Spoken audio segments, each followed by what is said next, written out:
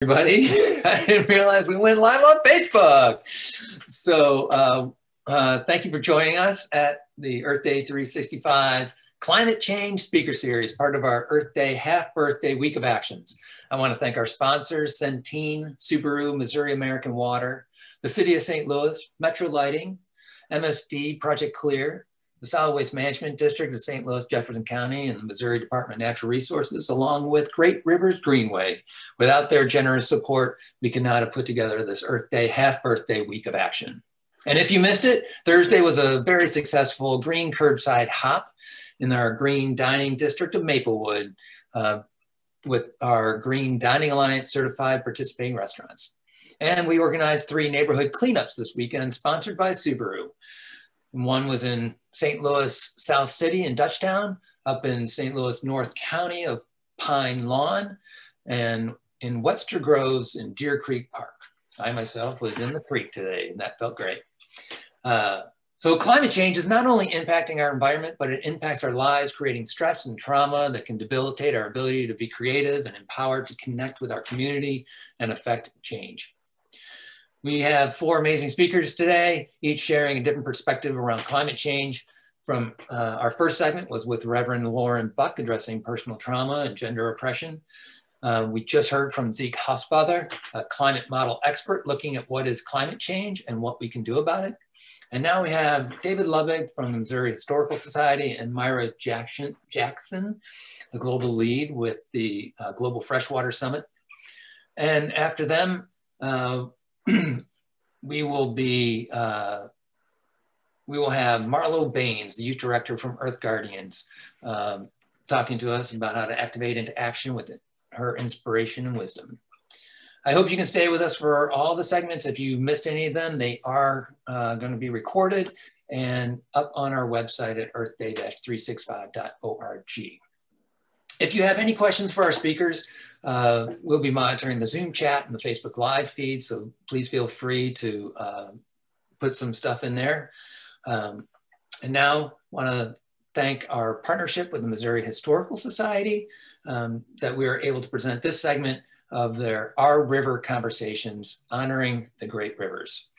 Uh, first, we'll hear from David Lobbig, he was inspired by the natural environment's deeply ingrained relationship with our community. David collects artifacts and produces exhibits that explain how historic and present day decisions affect dynamic environmental change. His research examines the impact of resource exploitation on the biotic community, and it informs his mission to engage the public in equitable solutions for a sustainable society. Uh, after David speaks, Myra Jackson um, will share with us about the Global Freshwater Summit, uh, she's a retired electrical engineer and organizational development professional who has designed and delivered seminar courses on business management, emotional intelligence, and heart coherence techniques at Harvard, Stanford, USC, UCSF, US, uh, UC San Diego, Rockefeller University, and Duke. In 2006, Myra shifted her focus to global policy on the climate crisis. And in 2015, she participated in the UN Open Working Group that determined the 17 Sustainable Development Goals. Ms. Jackson currently serves on the United Nations Expert Platform on Harmony with Nature and is a delegate to the United Nations Framework Convention on Climate Change. She consults collaborative groups of governments, higher education companies, utilities, and communities developing responses to sustain the rivers and regional environments and enjoys growing into the title of Diplomat of the Biosphere. Oh, that was my ring that told me I had to stop, shut up and introduce David and Myra. Welcome. Thank you. Thank you very much. Oh, it's wonderful to have such a competent and amicable host, and I'm glad to hear you got out in the creek today and was cleaning up some of the wonderful watershed we have.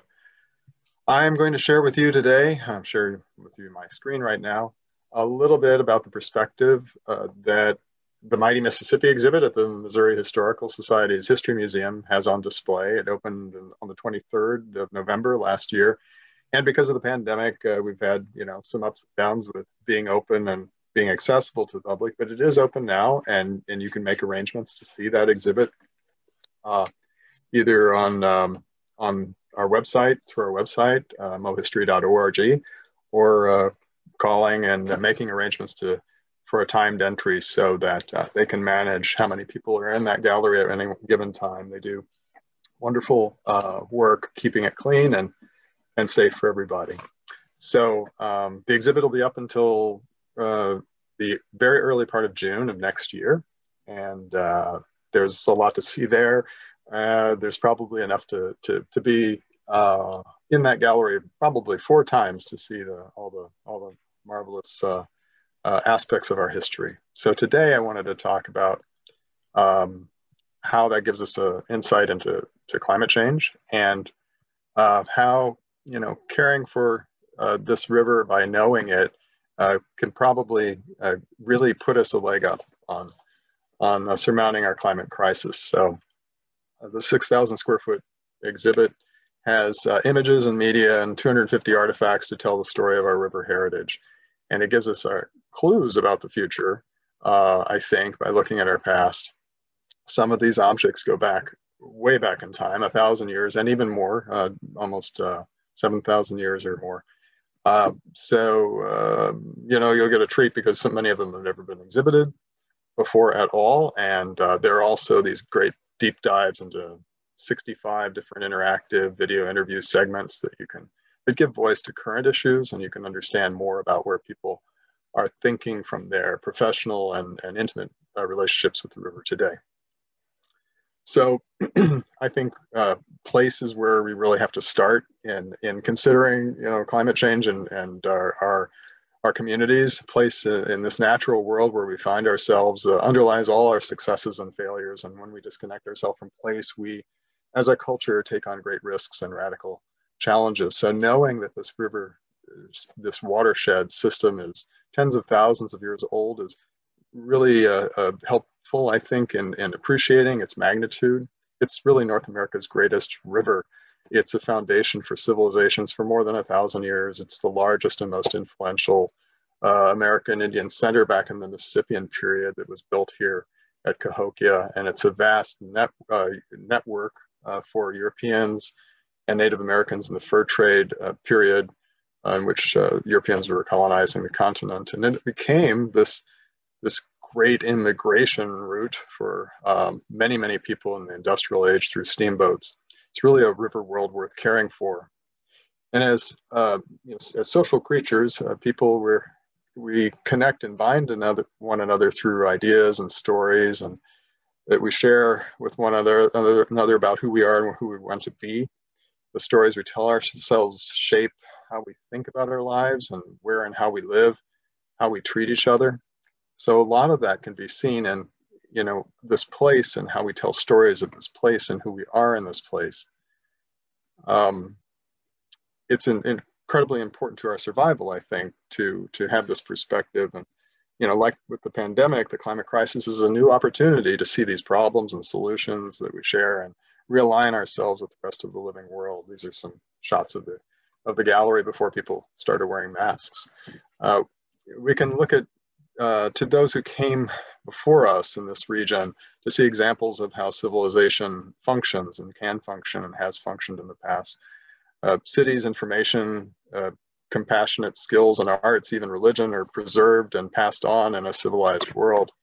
And in the First Peoples world here, the, the second uh, section of the exhibit, uh, you see a great civilization that emerged before the present one. And you can explore that, this Mississippian period, as I said, uh, is exemplified by Cahokia Mound State Historic Site just across the river near Collinsville, Illinois, is uh, a remnant of that, but that culture was all over in our region on this side of the river, the west side of the Mississippi as well, up and down the Mississippi, up the Missouri, the Meramec, uh, all these rivers were net together in this uh, in this uh, community of uh, Mississippian period culture as we know it today.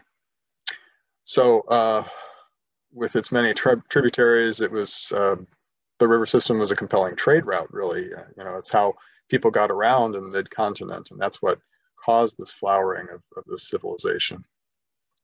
Uh, the people who lived here, you know, at that time lived in probably a much more intimate relationship with this world, uh, this natural world, than we are, are, privileged to have today because they they were in it all the time, constantly. and now we have you know these this built environment that we retreat to often. So it was also a place in which uh, the civilization was really founded in the floodplains, uh, the rich and fertile environments of the floodplains, and uh, that gave them a, a, leg up on agriculture, which is on which civilizations are built. Hey, David. Yes. When you uh, take a look at the Mississippi River, there's a, a huge like valley that spans all the way from the arch eastward, isn't there? That was the old Mississippi. And when you talk about floodplains, are people familiar with that? That's what you're not only the present day Mississippi, but also the ancient kind of glacial Mississippi being like a whole floodplain and different. Do you talk about that? Or yes, about that uh, in your exhibit? Yeah, so I would have loved to have gone more into the glacial period, but of course, you know that's that's pretty remote and geological for some people. They want to you know know a, a, a, a, human history as much as possible. And of course, people were here, you know, 11,000 years ago when this was all thawing out from the last ice age. People were here hunting and gathering, and and it, it's really in that Mississippian period, beginning you know about a thousand years ago, just rough, um, that you know, people start to really settle down. They, they did in the previous era before that, the woodland period, but it um, they start really taking advantage and becoming sedentary in this region. And that floodplain you're talking about, that valley, as you put it, it's really the um, floodplain of the Mississippi to the east of St. Louis is called the American Bottom, and it roughly, you know, it starts up near Alton, south of Alton, and goes down to uh, Chester, Illinois.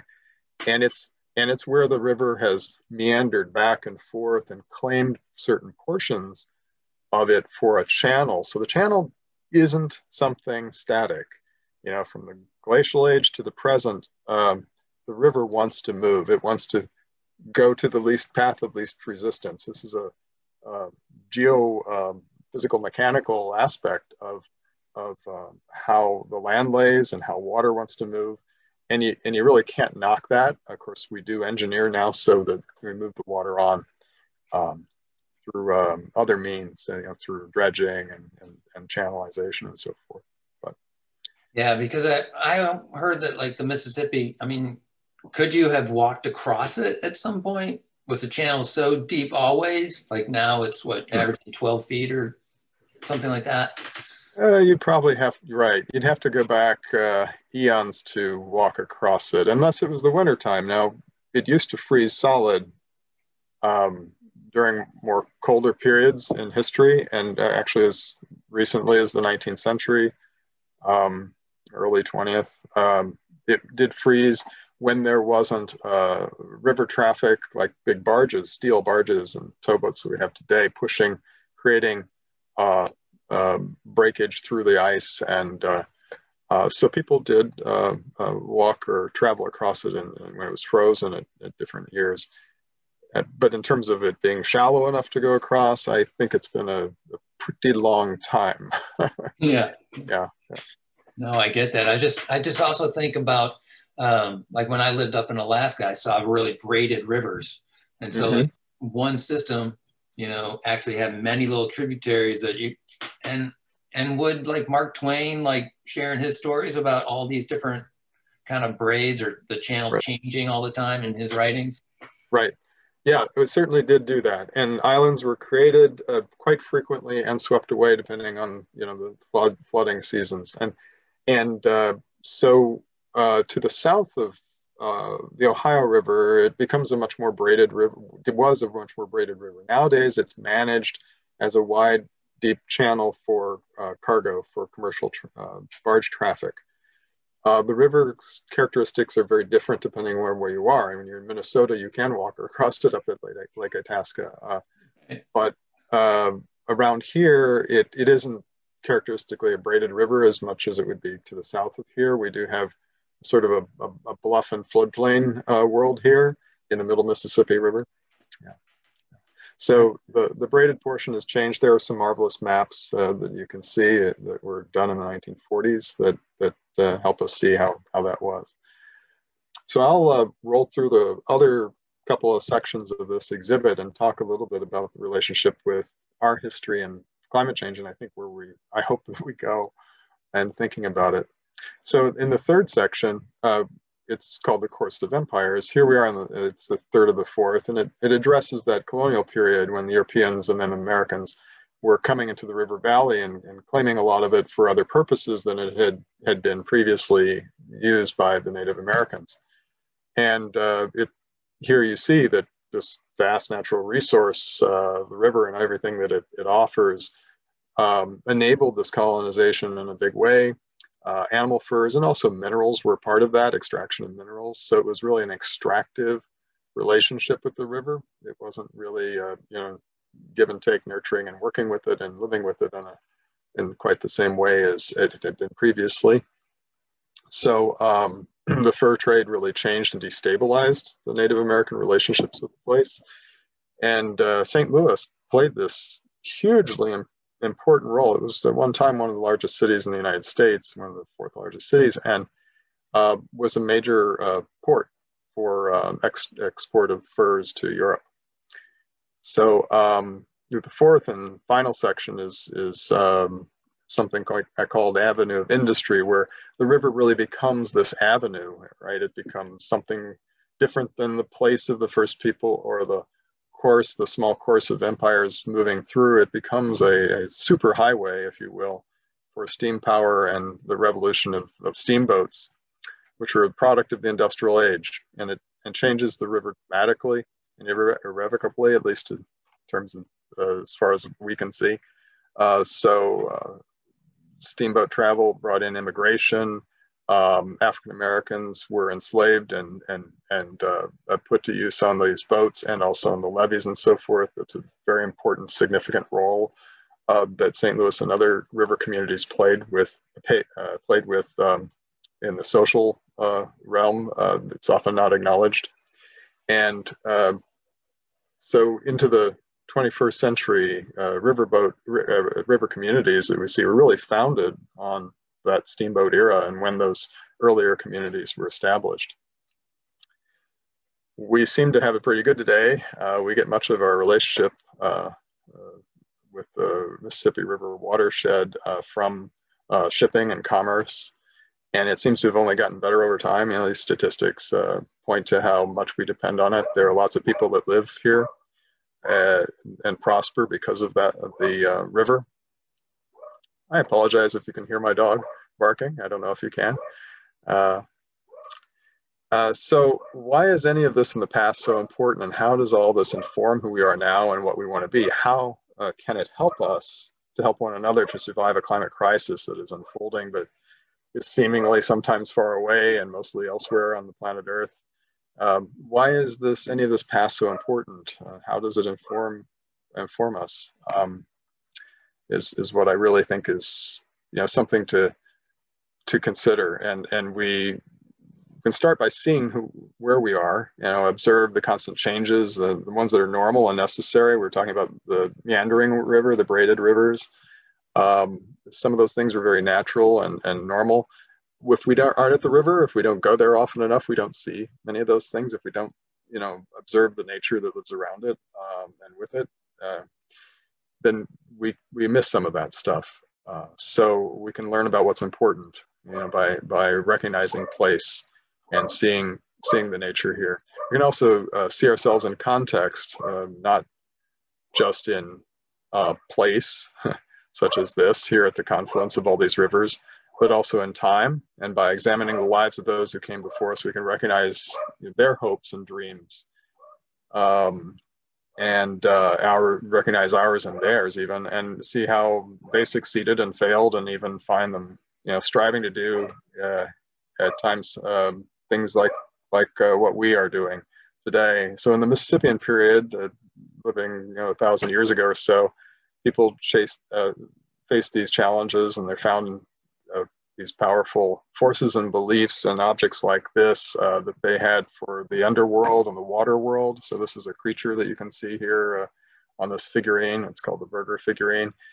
And uh, it, it also bespeaks uh, the reliance on water from the skies and from the rivers for fertilizing their, their land and, and giving them life and sustaining them. So many of these objects are in the exhibit. We can see, recognize that people had families and that we're all from families and create families and, and allies and, and, pe- and have people for, with which we're conflicted. And we build shelters and monuments just like they did. And uh, we find meaning and enjoyment in some days just like they did, and some days not uh, uh, meaning and or enjoyment. But we revel in some, and we get sick sometimes, and we die. And we can uh, learn that they too relied on this far-flung network of resources um, uh, for trade and for communication. And you know, this is bringing us up into that colonial period, and that much most of it was enabled by the treasure that is the river system.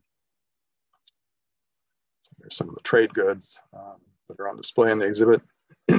so that, this is something that is, you know, with us very much today. You know, this is the commerce uh, view from the view of the commerce on barges uh, from south of St. Louis. St. Louis is the top of that image, and this is looking downstream to uh, downtown St. Louis and the Arch.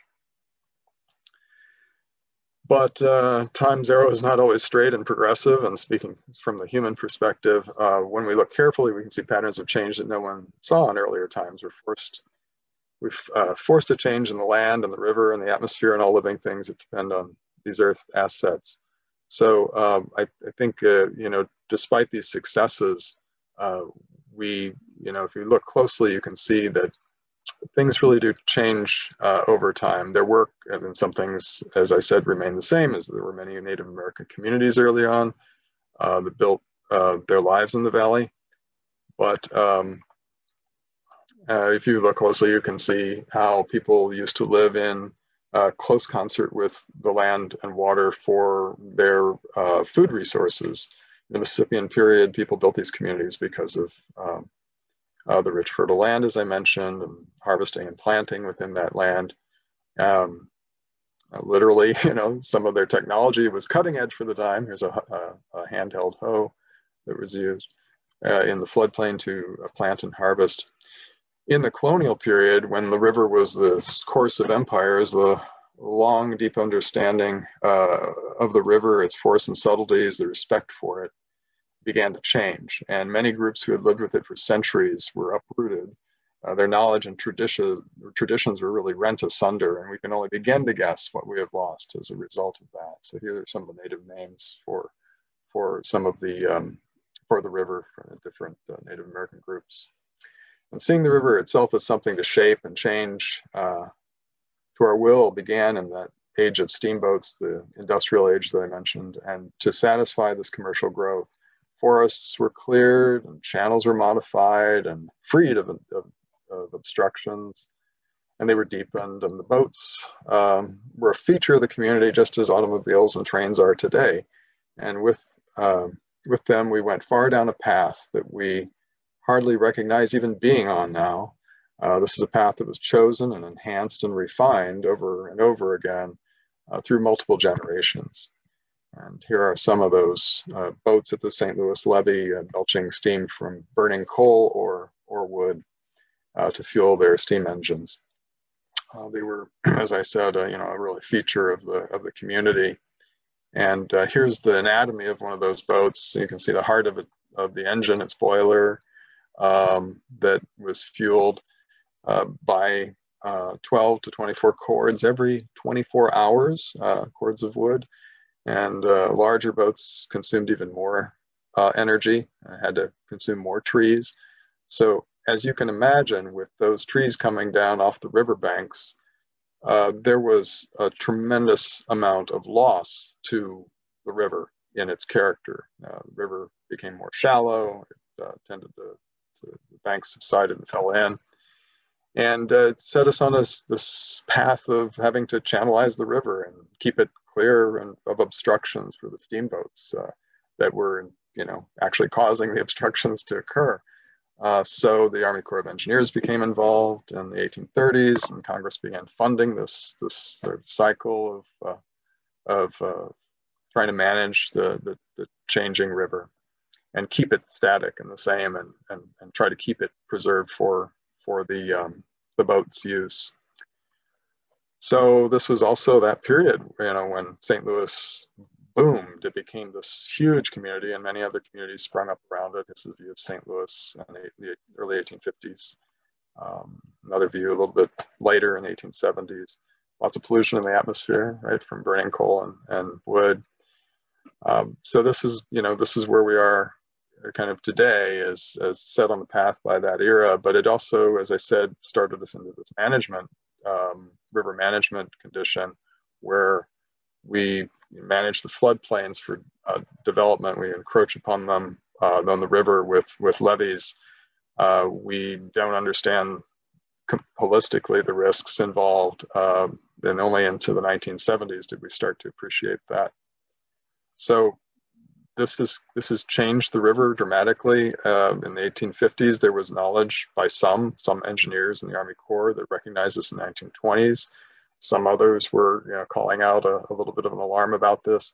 And in the 1970s, Charlie Belt at St. Louis University uh, did some studies that, that proved that this was this was this, this cha changing the river, the channelization and, and levying of it was actually making things worse for us for flooding.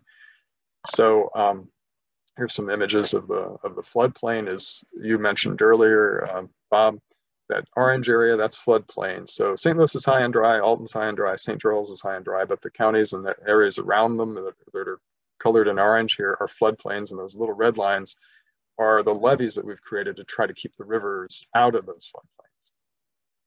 So Bob, uh, Chris uh, wrote a few years ago that since 1993, uh, five of the eight highest floods uh, have occurred at St. Louis since 93, five of the eight highest. And uh, since 2013, three of the highest floods. So Dave, really- you even, if I could add mm-hmm. in there, like one of your slides talked about um, levees being above uh, policy height or, or design. Yes. Can you yes. explain that right. and how that's impacting us? Yeah, that's a really difficult nut to crack. Um, so, you know, in in uh, overall national policy, federal policy, the Army Corps of Engineers has that authority to approve uh, levee heights. They don't build all the levees. It's not their you know job to do that. They do build some, but it's not. Um, it's typically districts that do that. Uh, sometimes it's uh, agricultural districts or communities that want to keep themselves from being flooded. And what's that? What that's done is it's kind of created a, a, you know a rush like it was a few years ago to the big box store, you know, inviting them in to you know get higher revenue. You build a levy and you've got more security for the revenue that you're getting off of the agricultural area or the, the community that's been built there. It secures it uh, or, or move, moves towards securing it. Um, and uh, so if everybody's building one of these, everyone's trying, striving for a higher levee to keep the river out of their community, it's pushing the river into the next community upstream. Um, it's causing floods elsewhere. And the Sny, uh, levee district in Illinois is one of those uh, problematic levees. It's built above height. So you mentioned being built above height. Sometimes this happens. Sometimes it happens accidentally, I guess, or uh, at least without the knowledge of the Corps and or approval of the Corps. And sometimes the Corps approves it, gets built differently, or um, you know, they, or they haven't checked and fully after it's done. And you know, what do you do after it's been built? So it's it's a it's a problematic thing where we do not have overarching policy and, and agreements uh, across state lines, across community lines that help us understand we're all in this together. This is all, you know, this is commons. These are the commons. in the United States, the rivers are the commons, one, some of the commons, and uh, as is the air. And it, it, it is uh, essential that we uh, recognize that and help each other uh, with, with uh, our safety and security in that. Um, so private property rights have really disrupted some of, some of this uh, thinking um, but private property rights are there to protect everyone. Really, they're really meant to, if they're if they're managed well. And and I think that you know one of the things you could critique historically is how well those have been managed, especially in recent years. So those rights. So yeah, so that's a that's a problem. Uh, it's not the cause of all the flooding. Uh, well, it is the cause of the majority of the flooding. Uh, we know that climate change is also going to bring you know some of that flooding. So that's why the slide, uh, current slide is up. Uh, that you know, according to the National Climate Assessment in 2018, we're in for a three to eight foot increase in flood level rise uh, by 2050. And, uh, you know, we're going to be looking, you know, greater precipitation or extreme precipitation events. There's more dynamics, more change, more disruption, more less predictability. so this is a bad prescription for future sustained habitation in these floodplains. You're going to see like this in 2017, the flood uh, near Alton, Illinois. You can see all the way to the Missouri River. It's flooded all over the place there. Uh, this in 2012, we had drought conditions and exposed the, the 19th century uh, pilings that were used to manage the river channel. So we'll see more of those, and these are just in recent uh, recent years that those have happened. So uh, I'm sorry, I didn't want to go on about all the negative stuff, but if you see the history and think about it and look at these subtle changes over time, you realize that there's sort of some patterns that have developed out of behavior that were inadvertent. Nobody probably intended for any of this to happen.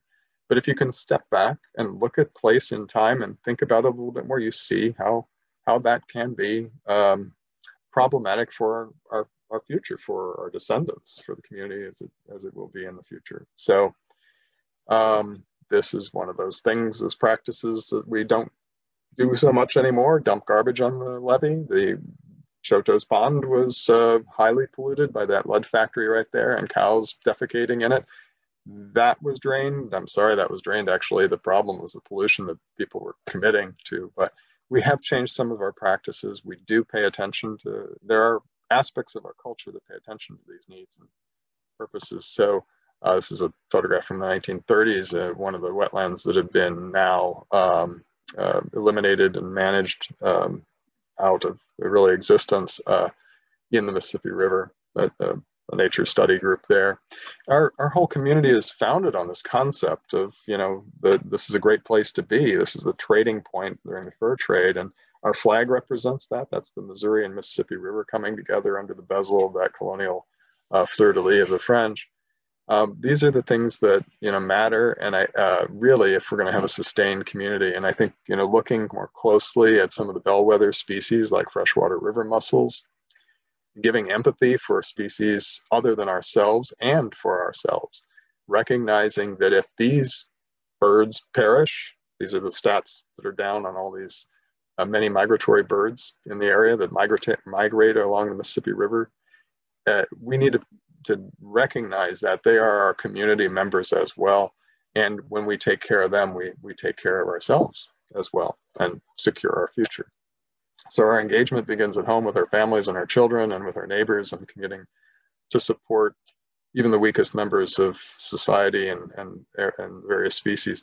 And I, I think, you know, with the possibility of a new narrative, such as the exhibit helps us begin by looking at our history, begin to tell our story to ourselves so we have a story that makes sense, that's more comprehensive, that's more thoughtful about what the, the river means to us and and and how we are going to, I hope, live with it in the long term. So uh, please go and see it at the Missouri Historical Society's History Museum in Forest Park until uh, June of early June of 2021. And um, I'm sorry, I hope I haven't taken too much of your time, Myra. I'll turn it over to you.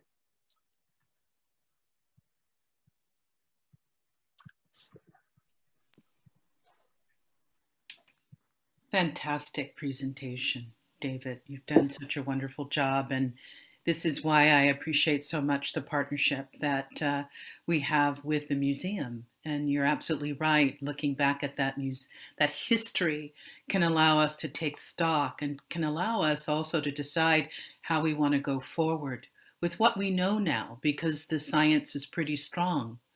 And not only the science, we can see it and feel it um, what's what's happening, the the direction of our world. And so, Bob, I want you just before I begin to speak, tell me how many minutes I have, and I'll make it work. Yeah, you've uh, got about 10 minutes. Okay. All right. I'm just going to pop really quickly into, uh, if I can bring it up, my not so much of a presentation other than a few guideposts. and um, I did have it up at one point, so I may need to go back out here really quick because it looks like I, I got rid of it. And uh, in the meantime, uh, in the while you're getting that you together. I will just say, David, amazing. I just love your wit, breadth and knowledge of the river uh, historically and to present day. You know, and I even think just about, you know, rainfall and the sponge of earth uh, collecting water and how when we have yards and pavement, um, it increases flooding events because that stormwater runs off. And so it's so important to have projects um, that create rain gardens and um, planting to native plants in our yards, which are going on all over the Right. place. Get rid of grass and let water, you know, sink into the earth and then seep into our riverways rather than pouring down the storm drains and stuff. Stuff. Hmm. Absolutely. Every every stream counts, really. It's all part of a network. It's not a line on a map, as I, you know, the Mississippi River is not one single line on a map. No, it's not one single line on the on the map, and it's not separate from who and what we are. And uh, you know, I've been really thinking about how each person walking is a representation of the rivers in which lives have been nurtured throughout time. And so, I really what I want to do is just note this day. I want you all to remember this day. This day is going into my uh, my scrapbook because I've been um, since 2006 working on these concerns, the concerns of around climate change, and I've been doing it because of three dreams that came to me um, in the 80s, in the late 80s, and continued into the 90s, and they were from grandchildren I didn't have, great great great grandchildren. They seemed to be way out there, and the content of the dreams were always the same. Grandma, what did you do when you knew the earth was in peril? And I began sharing this in circles that I was a part of until ultimately, once climate change became this reality, I knew why I was being asked that question. Because it really does matter what I choose to do in recognizing the earth in peril. The choices I make do matter, and who I bring along with me in that matters. And we are in that time. I think it's upon us where we do need to make a choice about how we're going to be in relationship with the earth and how we're going to turn the might we have in our intellect and our hands and hearts to get busy, um, to work toward building a world that is, is respectful and uh, in harmony with the earth itself. And there's no reason we can't do that. This day going on here right now is your half birthday for Earth Day, Bob. Is it marks really what began over 50 years ago, shortly after we got wind of what it looked like to have an image of our world from space. And I'm old enough to have lived through that and have been deeply impacted by seeing those early images from space. When I really got it, this is our home and we share it. You can't divide it up and think what happens in any given part of the world is not going to have an impact on the whole. And that has been, um, it's been a part of what's in the background. It underlies how I think and the decisions I've made since then.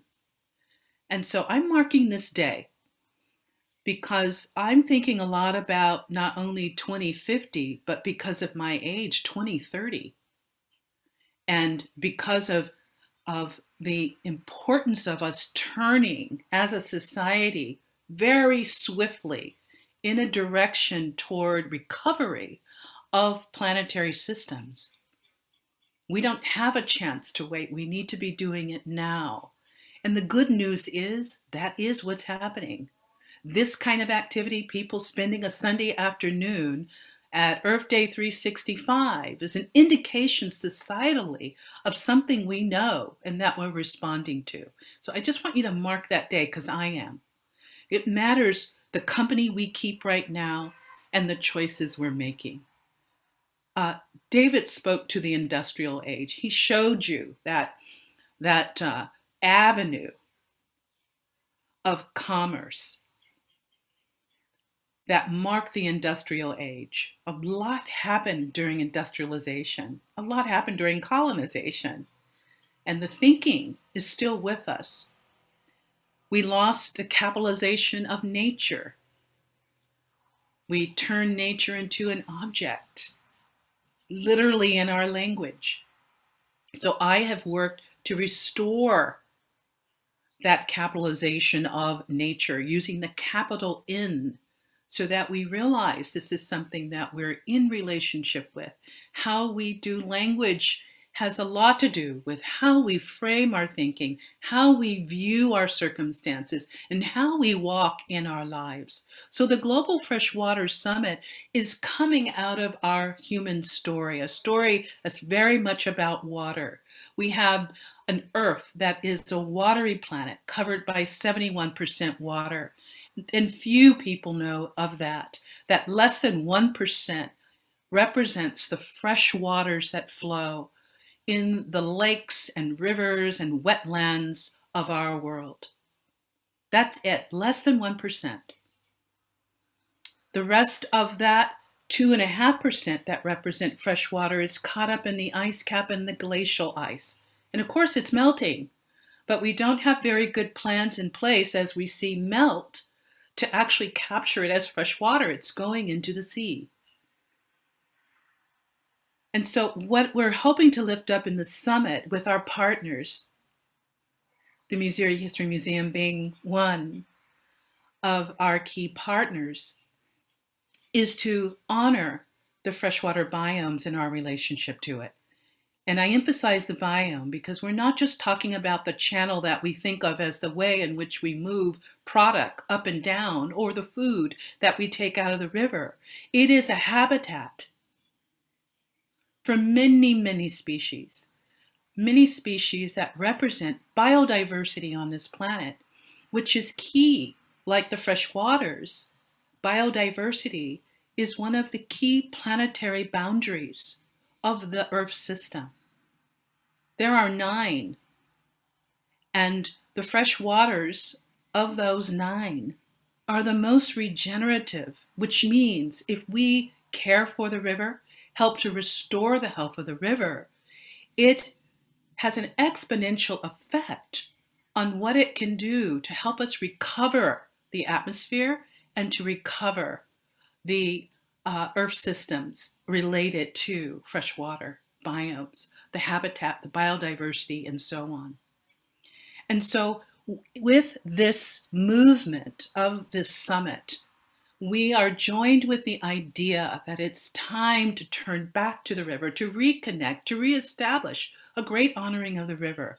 And I show this slide because a few years back in 2012, a scientist uh, Helen uh, was looking at what was going on in New Zealand at the Whanganui River and the peoples there and saw that those narratives were intertwined with a goal of decolonizing people and nature.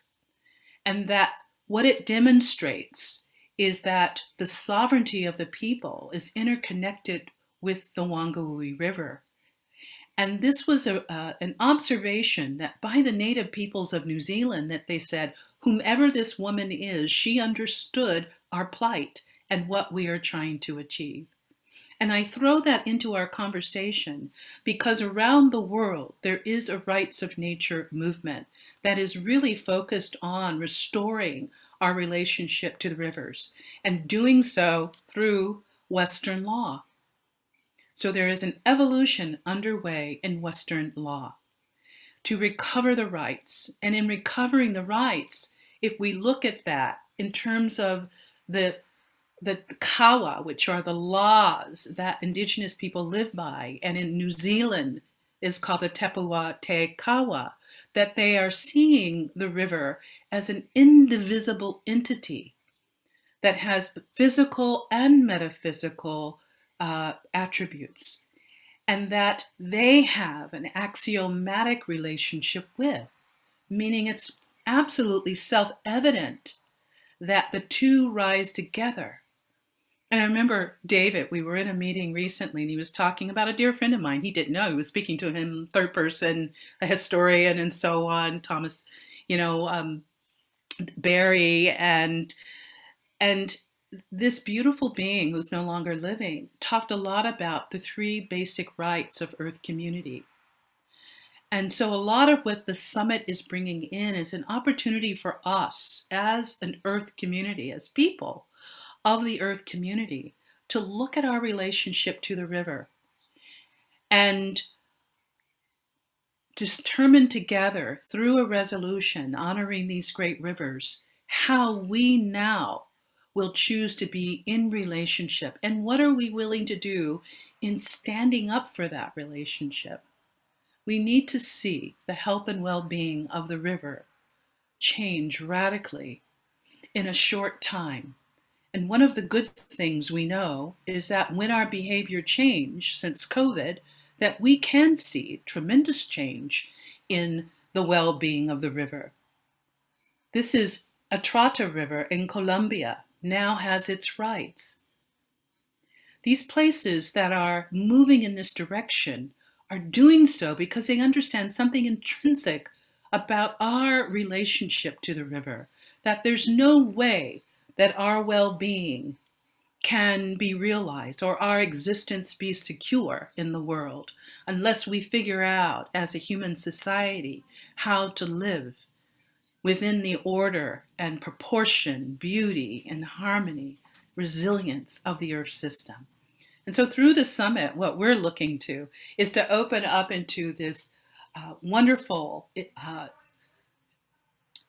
radical partnership amongst those who are already working in a very impassioned way on establishing a healthy river system.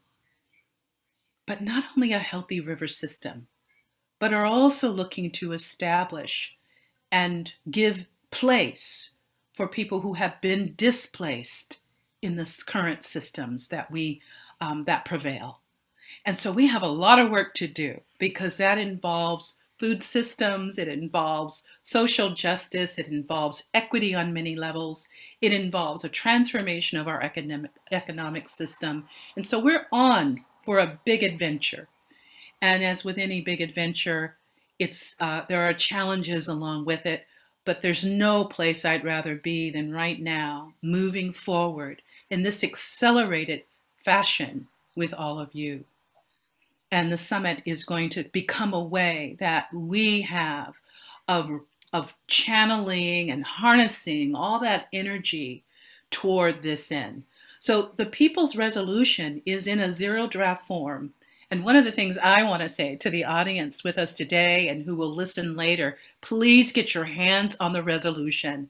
Read it. Feel for yourself what that means for you. And if there is something missing, Make it your business to let us know and add your voice and add the voice of nature and that which you care for into this resolution. Let's make it something that we all feel uh, that we can commit to and work together on and sign at the summit itself. April 23rd to 25th, we're coming together. And we're doing that at the Missouri History Museum. We'll be doing that uh, any way that COVID allows, virtually, some live, some virtual, all virtual. Whatever we will do, we will have this summit. And we will leave behind a corridor of action from summit to sea, focused on honoring the rivers and focused on doing what we must to restore this beautiful earth system. It has a code, it has a design, and we have grown up enough through looking at our missteps in the past. We can reconcile those and turn our nose in a direction to ensure that future generations will have an earth system that they can enjoy. So I invite you all to join us as we move into conversations around the state of the river, reconnecting to the rivers, lifestyles in harmony with nature, recognition of the rights of rivers, and governance of our river systems. We're going to have all the partners that are active in this space. And some of them are already beginning to collaborate to shape the conference to make sure we're not missing any key communities and key conversations that need to happen. Earth Day 63, 65, you helped to kick us off today. Well, I'm so happy about that. And I, uh, I wish, but we have to get uh, ended here. Okay, and, we're going to um, end it here and this was like so amazing, David and Myra, uh, for re-inviting us to re-examine ourselves and our human story about the earth and water, which perhaps we should call ourselves planet water. Um, you know, I asked about the look of the ancient Mississippi River because sometimes we need to know that there can be another vision of how water can be important and sacred in our lives. And we do not need to settle for the status quo. So I'm really excited about the Global Freshwater Summit coming uh, to St. Louis and your involvement with that. Um, and but we have to end the meeting here and please join us at four o'clock uh, for Marlo Baines, the youth director with Earth Guardians. Once again, thanks to our sponsors, Centene, Subaru, Missouri American Water, the City of St. Louis, Metro Lighting, MSD Project Clear, Solid Waste Management District and Missouri Department of Natural Resources and Great Rivers Greenway, this fantastic partnership with Missouri Historical Society and the History Museum. Please go see the exhibit that David has put together. It's wonderful. Um, Without the generous support of our sponsors, we cannot put together this Earth Day half birthday week of actions. Thanks for being with us, everybody. Um, thank you, David. Thank you, Myra. So thank great you. to have you here. Thank you.